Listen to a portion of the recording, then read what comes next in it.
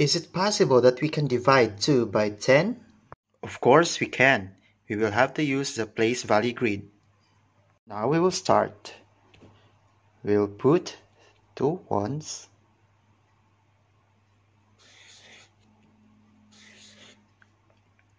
How many tens? We will have to make 10.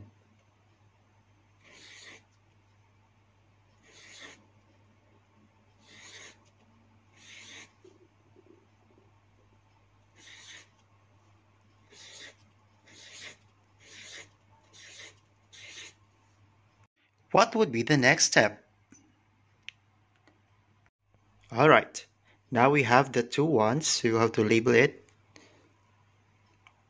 One, two, and this part, this dot one is what we call the decimal, decimal point. All right, so in this part, these are the tenths.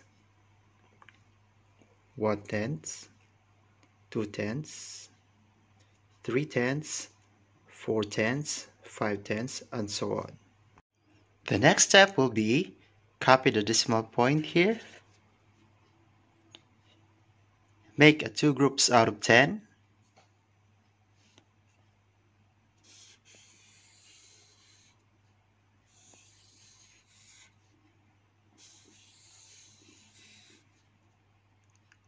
how many groups we were able to make.